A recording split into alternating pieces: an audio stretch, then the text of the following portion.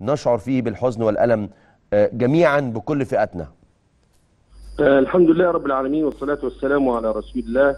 أولا آه، نعزي أنفسنا كما قلت آنفا والمسلمين قاطبة لكن هذا الحادث ال- البشع والأليم يعطي مدلولا أن بالأمس القريب فجروا إمام المسجد و و و و و وبالأمس ما فجروا إمام الكنيسة آه، في يوم آه، المفترض أن لو لو لو لو أن العدو أو ال- اللي هو الجمعة يوم الجمعة قصدك؟ آه. آه ال- ال- لو لو الغاشم هذا ال- ال- ال- الذي لا يفهم ولا يعرف الدين مم.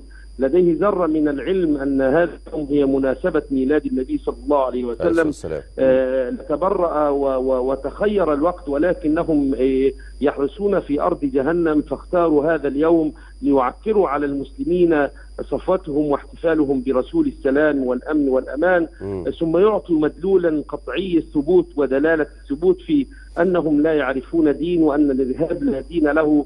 مم. وأن ال ال ال لا يعرف التوقيت ولا يعرف المكان ولا ولا يفرق بين أي شيء غير أنه يريد تهديد أمن واستقرار هذه البلاد نقول لل- للإخوة المسيحيين من قتلوا ومن استشهدوا فنحن آه، هم وهم نحن ولا يفرقنا أي شيء. منبتنا واحد وماؤنا واحد وسماؤنا واحد وشمسنا واحدة آه، و- وأن رسول السلام صلى الله عليه وسلم بين لتابعيه الذين يحترمون هذا النبي أن العلاقة بين الآخر ليست علاقة عدائية ولكن مم. علاقة يعلوها ويسمو في وتسمو بالرحمة والمودة والإحسان هذا ما جاء خلال بيان مشيخة الأزهر وعلماء الوسطية. وعلماء الدين آه لابد أن يفهم الجميع أننا في مرحلة من مراحل فاصلة في حياة مصر وأن العدو لا يترك آه، المسيحي ولا المسلم ولا ولا الضابط ولا ولا الفلاح في أرضه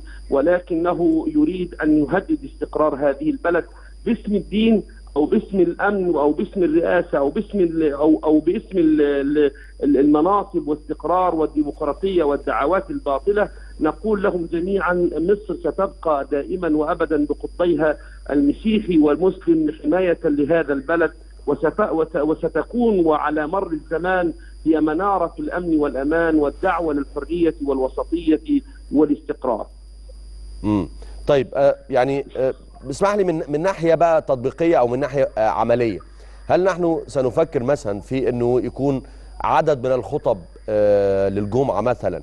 آه آه سيصدر مثلا أو تكون موحدة فيما يخص آه آه آه الدفاع عن عن مصر وطنية مصر. آه توعية الناس بالمخاطر اللي بتواجه المصريين جميعا.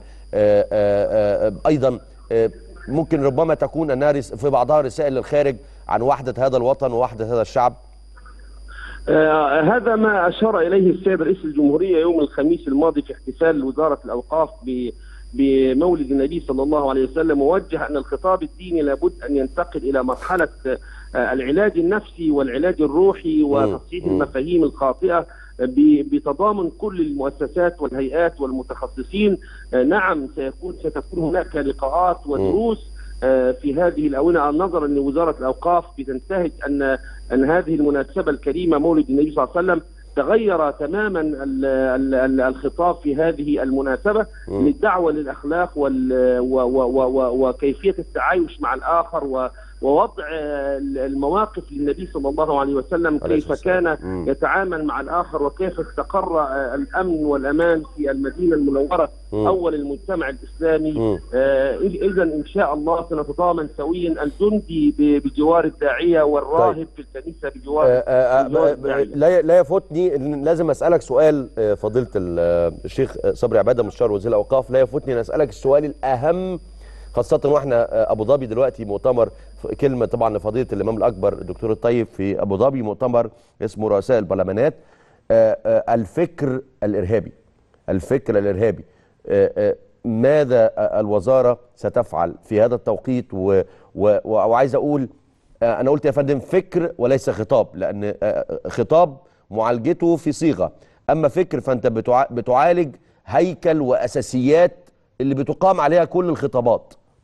نعم نعم نعم ال- ال- العلاج الصحيح في في هذه المرحلة أن أن نترك ال- ال- ال- ال- ال- المواقع وأن نترك الغرف المغلقة والمباني وننزل في الشارع فعلا.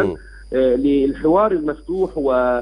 ونفهم تماما ال- ال- الساكت والذي لا يستطيع أن يتكلم من أصحاب الفكر المتشدد آه، يكمن بداخله قنبلة آه، فلا بد يكون في كوادر فعلا صح كلامك مظبوط وهذه الكوادر ال- الفنية تخرج على أرض الواقع وتناقش الفكر وتعالج الفكر لأن معالجة الفكر ضرورة حتمية في هذه المرحلة. ونظرا ان بعض شباب الجامعات وال- والشباب المغرر به والعملاء وال- والمندسين والذين لديهم أهواء ويتخذوا من المواقف الاقتصادية والسياسية ذريعة لكلمة الظلم والظالمين وهذا. باطل. أصلا ولو نظر في نفسه لوجد نفسه أنه ظالم من البداية إلى النهاية.